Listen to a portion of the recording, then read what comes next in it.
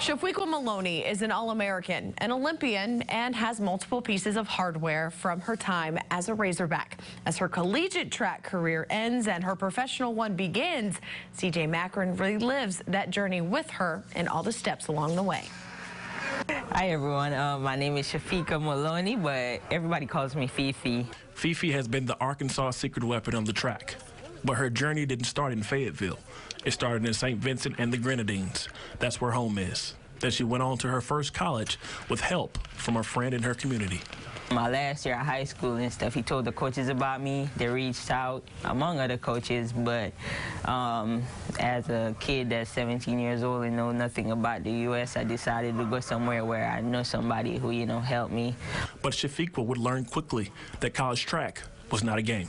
I got my butt whooped on the track pretty good, and I didn't like that. And so after that first year, you know, I got into my training, and after I knew what it took to be a champion, the MVC, and I did the work. And in her second season, the pages turned for the best. Um, my last year there, I was MVC champion, the four, the two, the four by four, and the four by one. Fifi got so many awards that she couldn't even remember them all. After she peaked at SIU, she decided to take on a bigger task at the University of Arkansas. One thing I came to learn that they don't play in the SEC. So you, you either make a decision. You want to be at the bottom of the ladder or at the top. And you know, Arkansas, you, you got to be at the top. You know, we didn't we don't just win SECs and nationals by being at the bottom.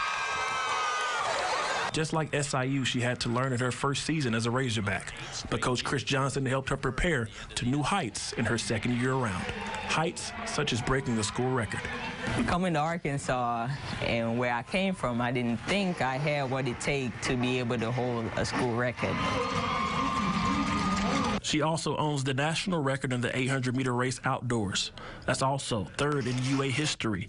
Fifi will now take her talents professionally as her senior season in Arkansas has come to a close. I love I love track and this is something I would like to do for a long time.